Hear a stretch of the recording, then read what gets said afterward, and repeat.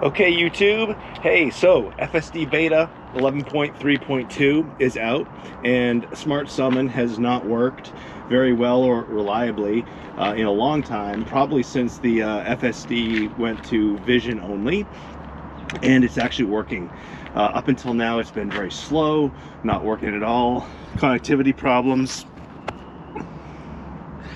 and uh, when Elon said that eventually Smart Summon will follow you like a dog, well, it's it's actually working now. So let me show you, and um, we'll see how it works. There's a empty parking lot. Maybe if it works well, I'll graduate back to a busy parking lot, and then we'll actually know if this is actually Smart Summon or not, termed ASS. But we will see. So I'm gonna put this uh, in the the app here on the person mode uh, and then it should say come to me which it does. And uh, we'll see how it works.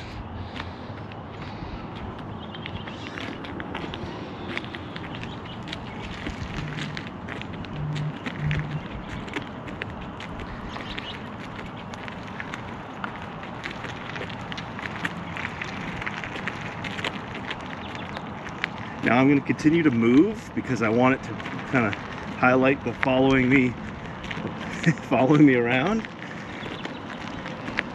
I'm to come over here. Uh, if it gets too close, I think it might turn off. So I'm going to make a U-turn now. Let's see what happens. All right.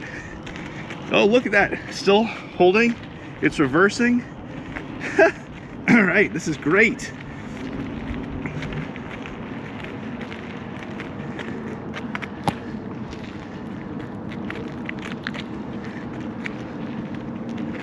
This is the best that it has worked, maybe ever.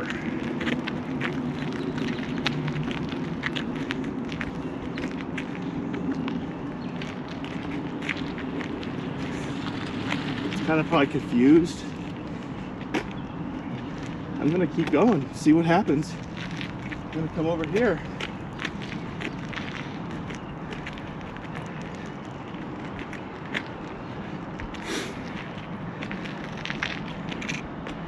Now it stopped.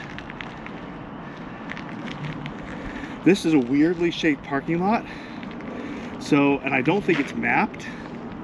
So I'm really curious. So here we go it's coming. It's coming right to me. What? Nobody's driving. I know that. Let's see if it can come over here. You think it'll pull into the parking spot? Come on.